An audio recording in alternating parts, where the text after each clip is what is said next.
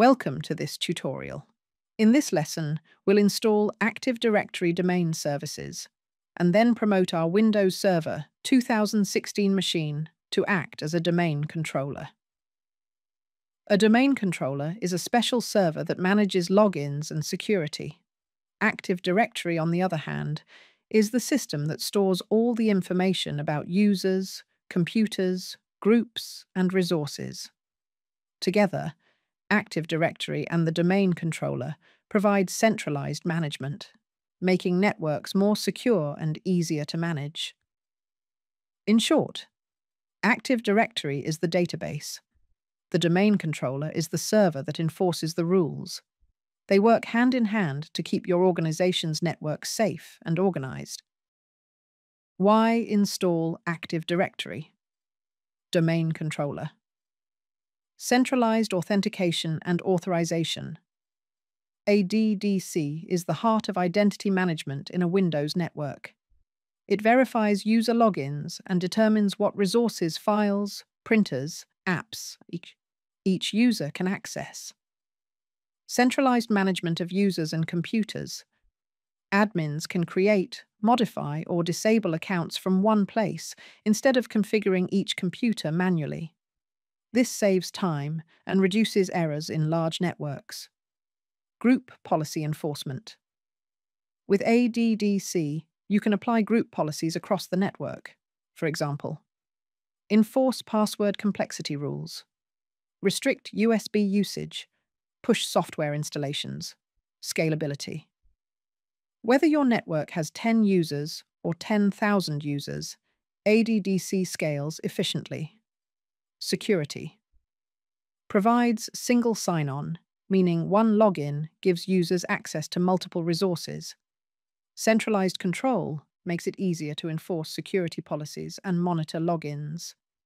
DNS integration ADDC is tightly integrated with DNS, enabling domain based naming, example neustmgt.local, rather than relying on IP addresses. In short, we need to install an Active Directory domain controller to centralize user management, enforce security policies, and ensure efficient and secure access to resources across the entire organization.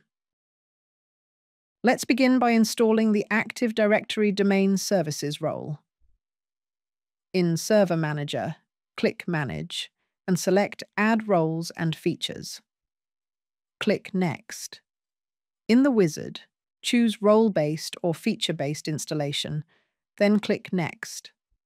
From the server pool, select your server and click Next. Under Server Roles, check Active Directory Domain Services a pop-up will appear. Click Add Features, then continue by clicking Next until you reach the confirmation page. Finally, click Install and wait for the process to complete. Once it's done, click Close. Next, we'll promote this server to a domain controller. In Server Manager, you'll see a notification flag. Click it and select Promote this server to a domain controller. Since this is a new domain, choose Add a new forest and enter your domain name, for example, neustmgt.net. Then click Next. It will take some time, so be patient to wait until the next screen appears.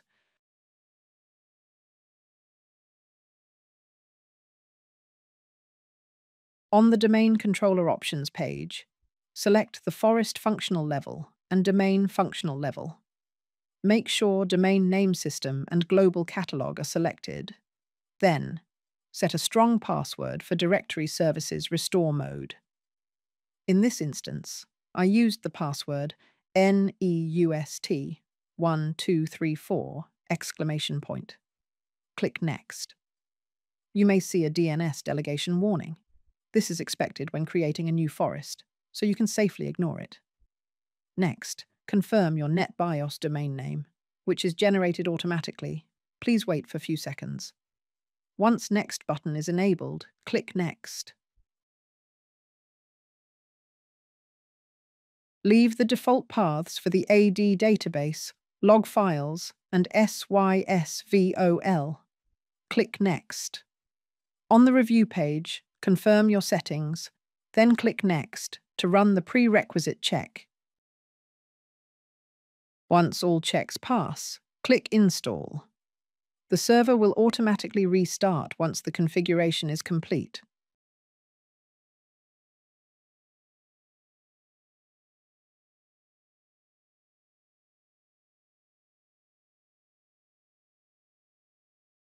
After reboot, log in using your new domain credentials, for example, neustmgt backslash administrator. Type the password.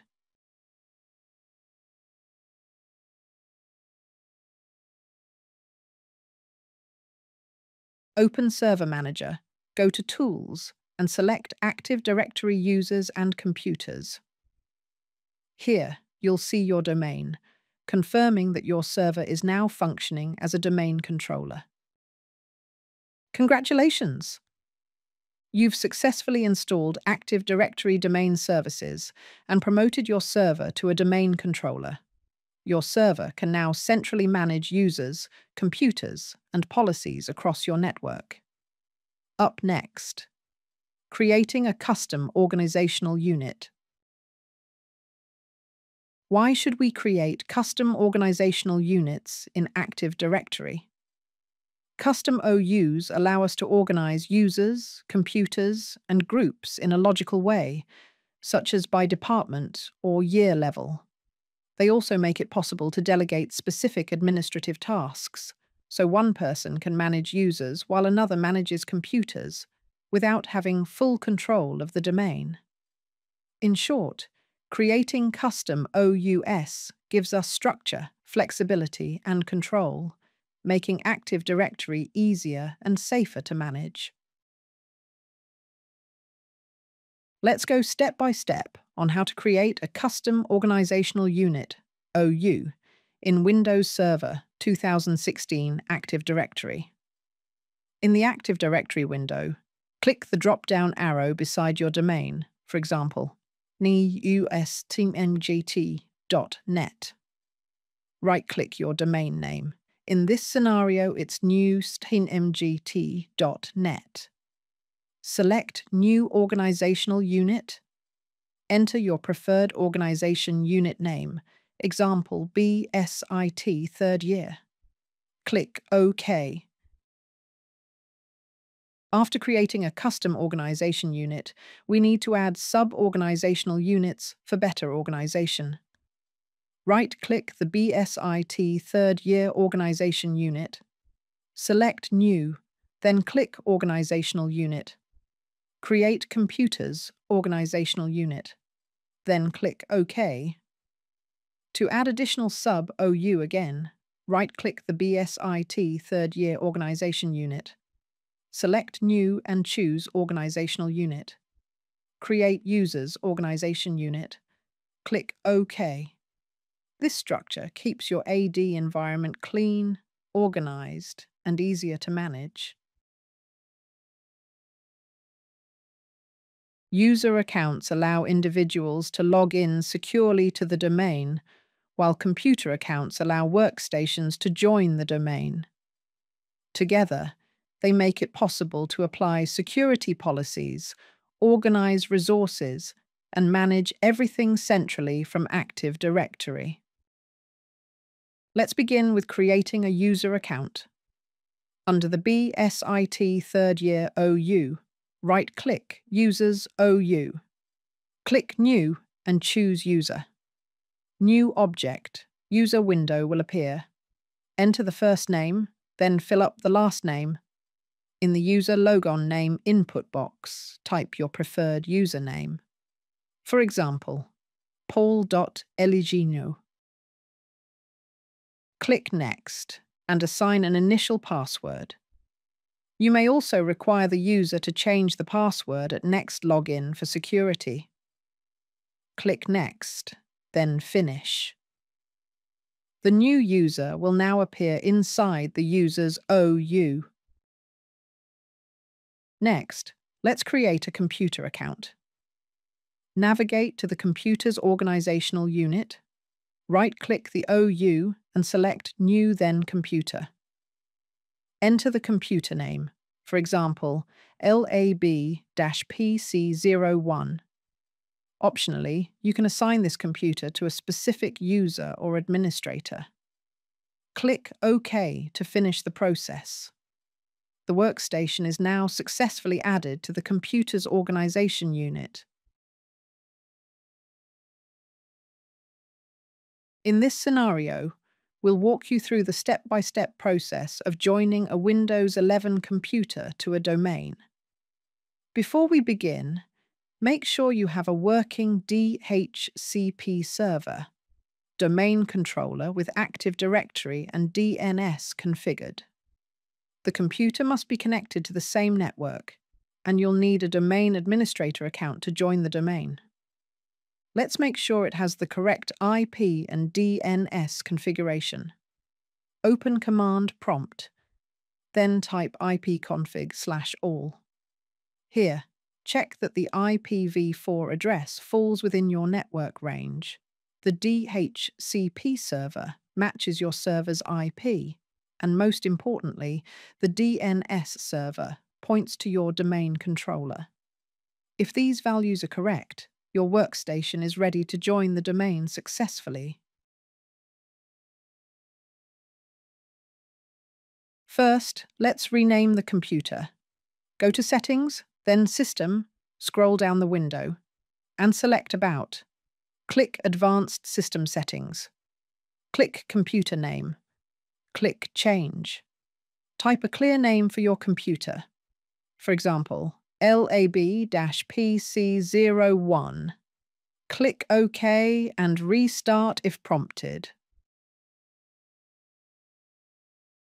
Let's just do it the same way we did in the last step. Go to Settings, then System, scroll down the window, and select About. Click Advanced System Settings. Click Computer Name. Click Change. Under Member of, select Domain and type your domain name.